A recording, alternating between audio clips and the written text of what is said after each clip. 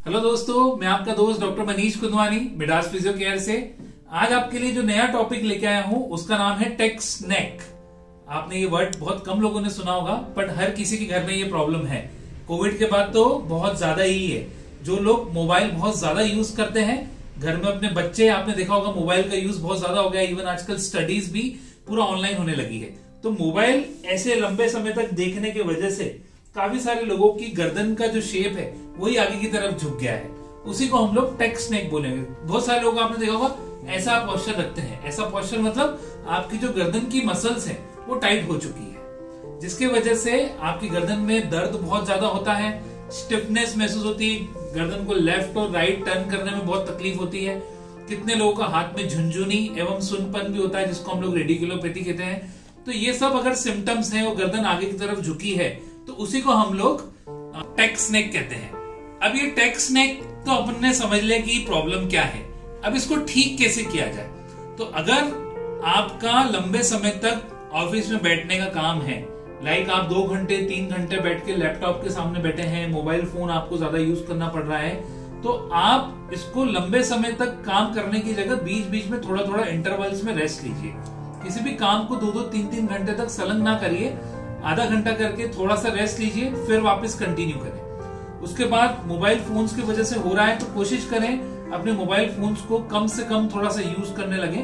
और कुछ आसान से मोबिलाइजेशन हैं। आपके घर के आसपास कोई भी फिजियोथेरेपिस्ट हो, आप उनसे मिलके अपने जॉइंट के मोबिलाइजेशन इवन कायरोप्रैक्टर से मिलके आप जॉइंट की मैनिपुलेशन भी करा सकते हैं, जिससे आपको रिलीफ बहुत जल्दी मिलेगा। और बहुत कुछ आसान सी सिंपल सी एक्सरसाइजेस हैं जैसे कि स्ट्रेचिंग और स्ट्रेंथनिंग जिसको करके आप अपनी मसल्स को मज़बूत बना सकते हैं।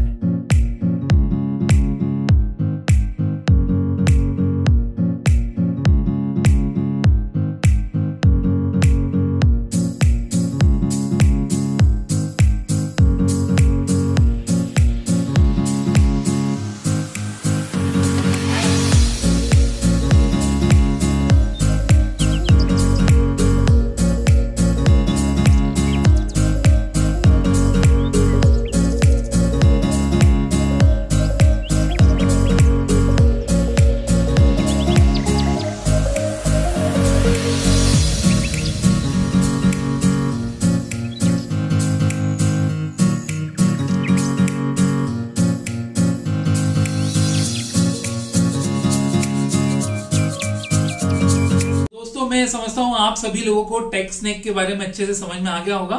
और अंत में मैं यही कहना चाहूँगा कि आप अपने मोबाइल्स को यूज़ करें, क्योंकि अब मोबाइल्स के बिना तो दुनिया आई थिंक इम्पॉसिबल सी हो गई है।